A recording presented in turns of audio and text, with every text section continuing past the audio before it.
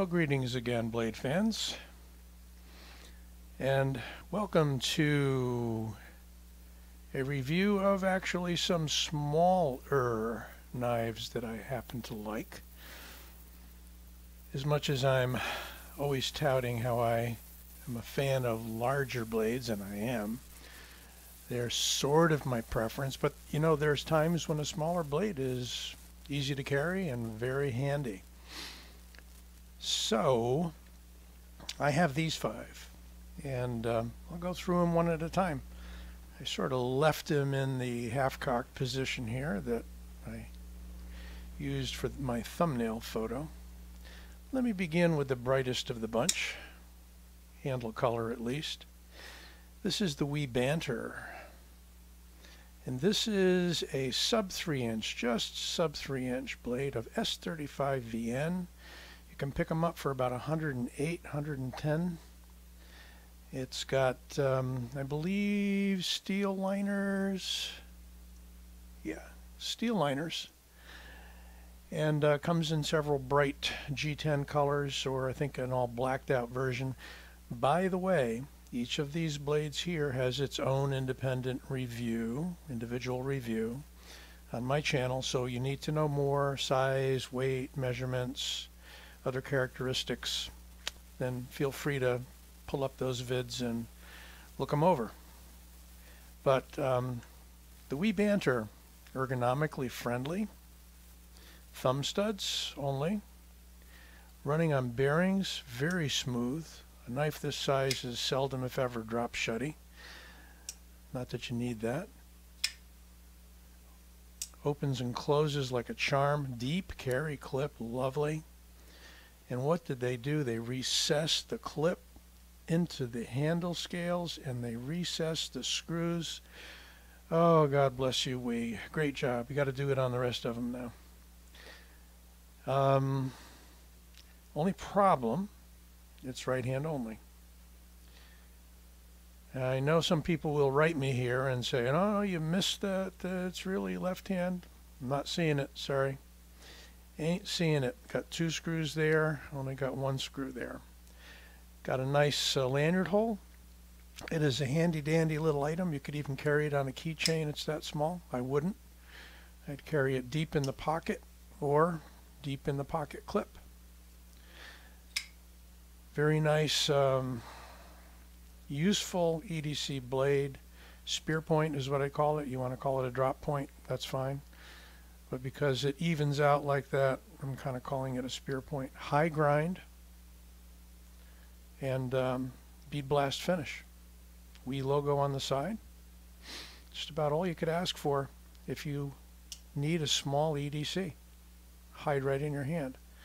But yet, plenty of thickness, wide open back, etc., etc. A lot of people love the WE Banter. It was very popular when it first came out, and they're finally available across the board. Jumping to another brand.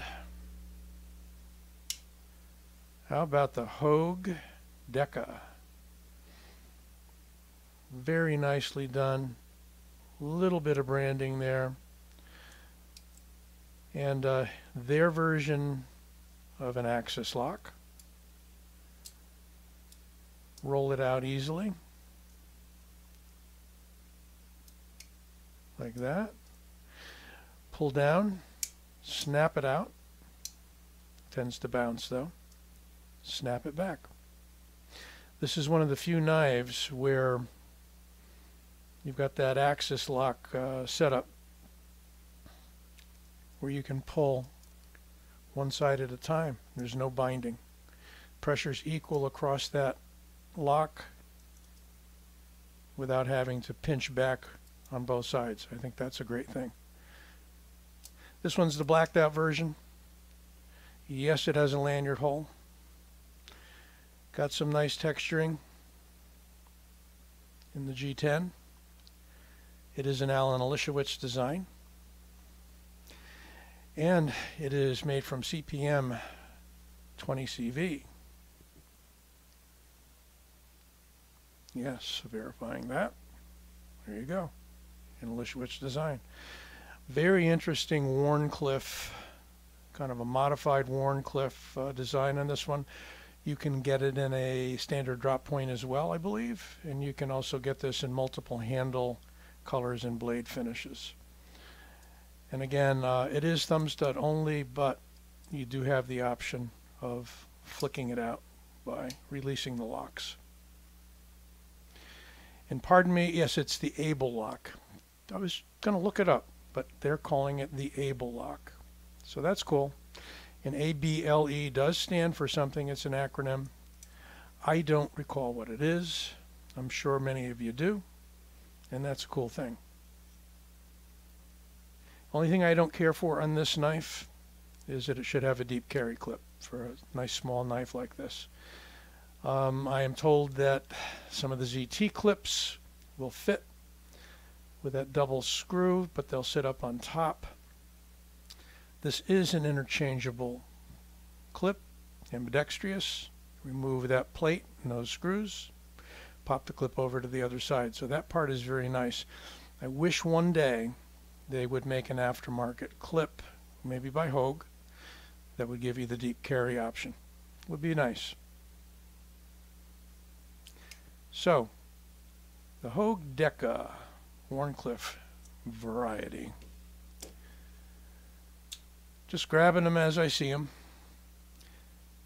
Here we have an interesting knife from Spyderco. Got a cheat. So the Spyderco is the Ikuchi. Had to pause for a minute and cheat and look it up.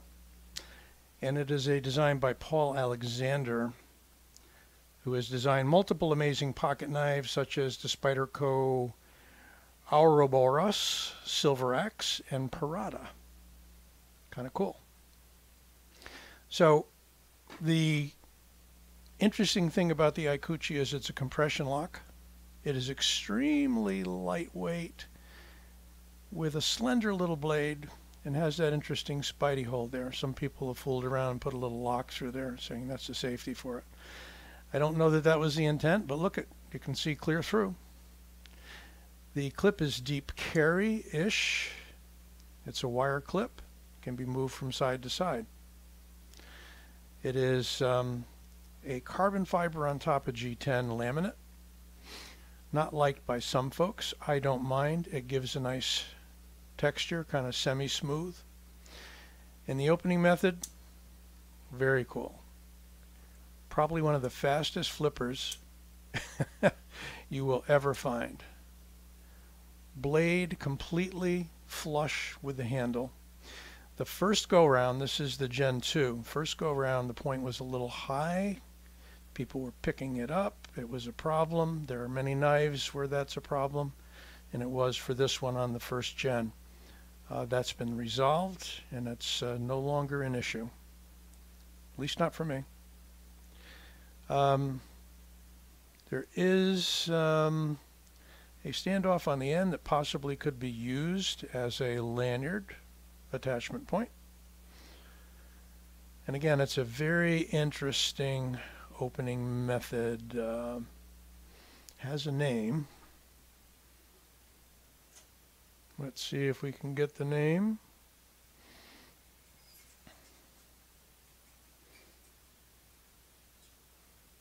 Uh, what do they call it? Uh, but Mr. Alexander is uh, in the business of what's called mechanical engineering. Been a fan of knives his whole life.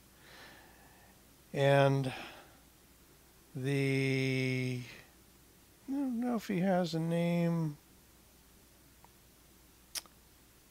Anyway, it's considered to be a Santoku shape. The Ikuchi, the Ikuchi is a Japanese name. Um, not sure if he's got a name for that wheel. You may know what the name is. I don't. So this is where I can get educated by my viewers now that we're over a thousand, I got more people pitching in, and that's a good thing. I do not claim to know everything by any means. I use the knowledge I have at hand. I gain a little bit of knowledge with each knife, and uh, share that with you folks. You may or may not have this knife. It's a very light one. Uh, love the blade shape. If you're looking for a lightweight EDC knife, certainly can't go wrong with this. Uh, compression lock will close fully with just that one release. And again, you can get all the specs and details on the individual review of each knife. Here's one you don't see too often. I recently did a review on this. And um, this is an interesting knife by Mr. James Williams, who is a sword master and uh, Japanese martial arts tactics master, so on and so forth. It is the Hissatsu 2, which you can clearly see through the billboarding. And interesting thing about this knife, it is an assisted knife that can be de-assisted.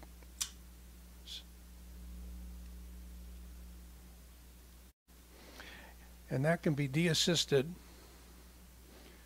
through one screw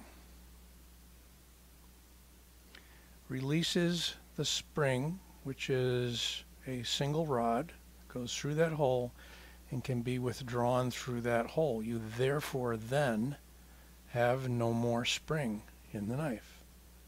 And there is a detent that'll hold it closed. And I believe the kanji characters on the side do have something to do with the name, the Hissatsu. It's a three inch knife, thumb disc opening, fits flush in the hand, and has that elongated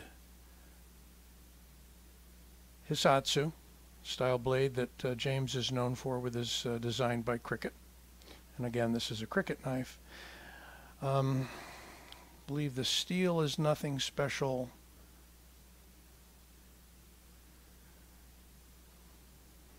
I'm thinking it's like AUS-8, something like that. Nothing fancy.